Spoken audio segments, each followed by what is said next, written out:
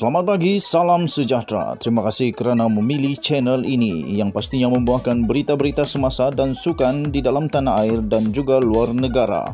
Sebentar lagi kita akan mulakan berita terkini daripada channel ini. Sila pertimbangkan untuk tekan butang subscribe, like dan share. Salam sejahtera Malaysia. Berita seterusnya dipetik daripada inforakyat.net bertajuk AMNO kini senada dengan pembangkang mahukan parlimen kembali bersidang.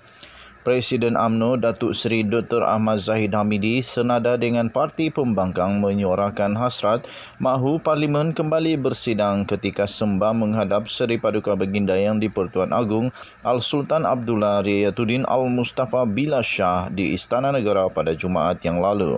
Ahmad Zahid Hamidi berkata ketika sembah menghadap kira-kira satu jam itu, beliau membawa pendirian AMNO bahawa Parlimen wajar bersidang memastikan sistem demokrasi negara dapat dipertahankan.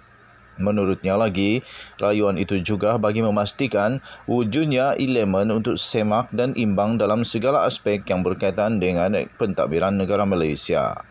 Parlimen penting sebagai platform rasmi suara suarakan suara hati rakyat seperti moratorium air sinar dan air lestari 2.0 dan juga tentang kenaikan harga barang katanya dalam kenyataan itu. Pelbagai bantuan juga sepatutnya tidak terhad kepada golongan B40 tetapi turut melibatkan golongan M40 dan T20 yang juga turut terjejas ketika pandemik COVID-19 katanya kepada pemberita selepas selesai sesi sembah menghadap yang di Pertuan Agong di Istana Negara pada Jumaat yang lalu. Ahmad Zaid Hamidi menambah beliau turut menyembah maklum agar darurat tidak lagi diteruskan selepas 1 Ogos kerana akan membawa kemudaratan besar kepada negara. UMNO juga membawa suara rakyat yang resah dan gelisah menghadapi pandemik ini sehingga menjejaskan mata pencarian mereka katanya lagi.